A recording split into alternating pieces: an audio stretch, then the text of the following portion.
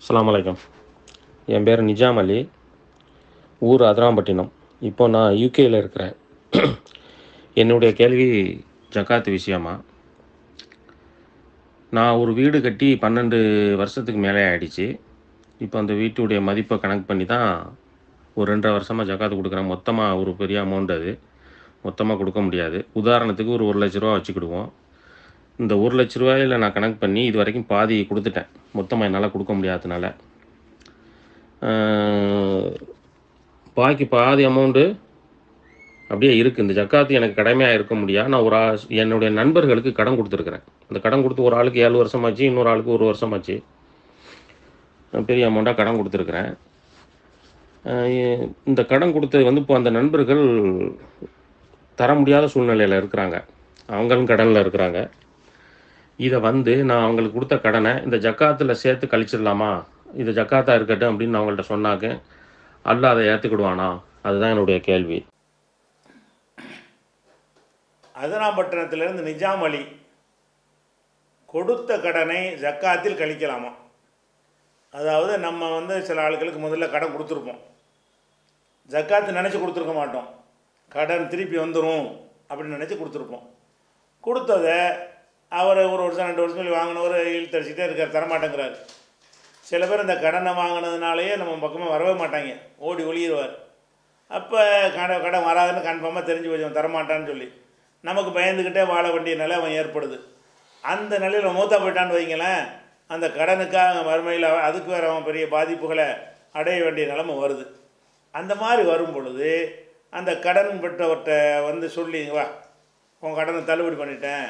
ஜக்காத்திலிருந்து தள்ளுபடி பண்ணுறேன்னு சொல்ல வேண்டிய அவசியம் கிடையாது. இவர் கணக்கு வச்சுக்கிற வேண்டியதான் ஜக்காத்து கணக்கில் இருந்து நம்ம ரெண்டு லட்ச ரூபா கடன் கொடுக்க ஜக்காத்து கொடுக்க வேண்டியிருக்கு. இந்த ஆளுக்கு ஒரு லட்ச ரூபா கடன் கொடுத்துருக்குறோம். ஒரு லட்ச ரூபா கழிச்சு விட்ருவோம் இங்கே வாப்பா ஒரு லட்ச ரூபா நீ தரவானா? நான் உனக்கு தள்ளுபடி பண்ணிட்டேன். அப்படி சொல்லலாமான்னா தாராளமாக சொல்லலாம். ஏன்னு கேட்டால் கடன்கிற நம்ம காசு தான் அது. கடன்டா என்ன அர்த்தம்? என் காசு அவன்கிட்ட இருக்குன்னு அர்த்தம். என் காசு அவன்கிட்ட இருக்கும் பொழுது அது என்கிட்ட இருக்குன்னு தானே அர்த்தம் அதுக்கு? அப்படி இருக்கிற காரணத்தினால அப்போ என்ன செய்யணும்னு கேட்டால் முன்னரே கடன் கொடுத்து தராமல் சில பேர் முடியாத நிலையில் இருப்பார்கள்னு சொன்னால் அவர்களுக்கு நீங்கள் புதுசு புதுசான ஆட்களுக்கு கொடுக்கறதை விட கடனை வாங்கிட்டு தர முடியாமல் இருக்கான் பாருங்க. அவனை கூப்பிட்டு தள்ளுபடி பண்ணிட்டேன்னு சொல்லிட்டீங்கன்னா உங்களை பார்த்து ஓடி ஒழிய மாட்டான் மனம் உறுத்திட்டு இருக்க மாட்டான். எப்படா கேட்பார் எப்படா கேட்பார்? அவன் முடியலைன்னு தான் தெரியுதுல்ல. முடியும்னா நீங்கள் வாங்குறளவு வாங்கிக்கிறங்க. முடியலைன்னு சொன்னால் அவருக்கு அவகாசம் கொடுங்க இல்லாட்டி தள்ளுபடி பண்ணுங்க என்பது தான் இஸ்லாத்துடைய நிலைப்பாடு. அல்லாஹ் என்ன சொல்லி காட்டுறான்? ஒயின்கானது உசுரத்தின் ரெண்டாவது சூறாவில் இரநூத்தி எண்பதாவது வசனம். ஒயின்கானது உசுரத்தின் அவன் ஒரு சிரமப்படக்கூடியவனாக இருந்தால் கடன் வாங்கியவன் சிரமப்படுறவனாக இருந்தால் இப்போ நல்திரத்தும் இலா மைசரா வசதி வரும் வரைக்கும் அவனுக்கு அவகாசம் கொடுங்க. வசதி வர்ற வரைக்கும் நீ அவகாசம் கொடுக்கணும். அந்த சத்தக்கும் ஹைருள்ளக்கும் நீங்கள் அதை தர்மமாக ஆக்கி விடுவது மிக சிறந்தது. கடன் வாங்கிட்டான் தர முடியலைன்னு சொன்னால் ஒன்றும் டைம் கொடுங்க. ஆனால் சிறந்த என்ன தெரியுமா? த சத்தகு சதக்கா சதக்கானா ஜக்காத்து சேரும் அந்த சத்தக்கும் ஹைருள்ளக்கும் நீங்கள் அதை சதக்காவாக ஆக்கி விடுவது உங்களுக்கு சிறந்தது. அப்போ சதக்காண்டாலும் ஜக்காத்துக்கு அந்த பேர் தானே? ரெண்டு ஒன்று தானே? அப்போ சதக்கா செய்வது சிறந்ததுன்னு சொன்னால் என்ன அர்த்தம்? கடன் வாங்கியவன் தராமல் இருப்பானேயானால் நீங்கள் புதுசு புதுசாக ஆட்களுக்கு கடன் கொடுத்து ஜக்காத்து கொடுப்பதை விட உங்கள்கிட்ட ஏற்கனவே வாங்கி தர முடியாமல் இருக்கிறான் பாருங்க. அவனுக்கு நீங்கள் தள்ளுபடி செஞ்சால் உங்கள்கிட்ட ஜக்காத்து கடமை நீங்கிறது. நீங்கள் தர முடியாத தகுதியான ஒருத்தனை கொடுத்துருக்குறீங்க. அவன் ஆகிரத்தில் நாளைக்கு பாவியாக மாட்டான். நாளைக்கு உங்களோட நல்லுறவாக இருப்பான். அந்த மாதிரியான ஒரு நன்மையெல்லாம் ஏற்படும். இன்னும் சொல்ல போனால் திருக்குறானில் வந்து எட்டு ஆட்களுக்கு ஜக்காத்து கொடுக்கலாம்னு சொல்கிறான் எட்டு வகையில். அந்த எட்டு வகையில் ஒரு வகை என்ன? ஒம்பது அறுபது வசனத்தில் ஒன்பதாவது அத்தியாயம் அறுபதாவது வசனத்தில் அல்லாஹ் சொல்கிறான் ஒல் ஹாரிமீன கடன் வாங்கியவர்களுக்கு கடன் பட்டவர்களுக்கு நீங்கள் ஜக்காத்து கொடுக்கலாம். உங்கள்கிட்ட வாங்கினா என்ன வேற ஆட்ட வாங்கினா என்ன? ஒருத்தன் இன்னொரு ஆள்கிட்ட கடன் வாங்கி கொடுக்க முடியாமல் இருக்கிறான். நம்ம கூப்பிட்டு இருந்தாப்பா அந்த கடனை அழைச்சிட்டு போய். அப்படியும் கொடுக்கலாம். என்கிட்ட கடன் வாங்கிட்டு அதுவும் அடங்கத்தானே செய்யும். கடனாளிகள் அதுக்கு தகுதி பெற்றவர்கள். ஜக்காத்துக்கு தகுதியானவர்கள் எல்லாம் சொல்லும் பொழுது கடனாளிகளையும் சொல்கிறானா இல்லையா?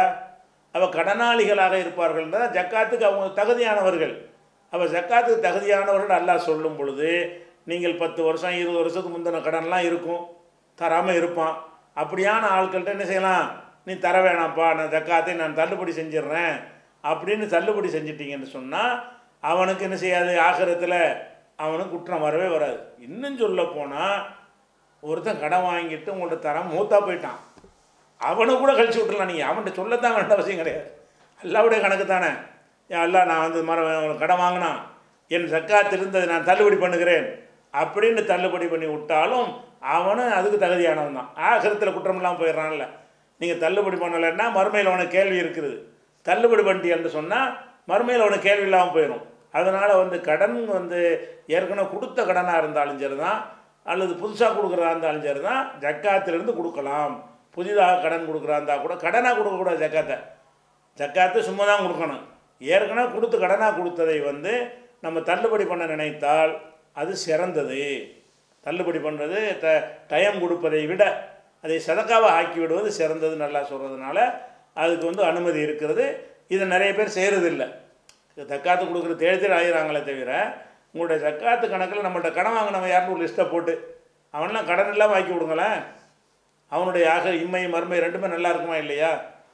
இதை விளங்கி கொள்ளணும்.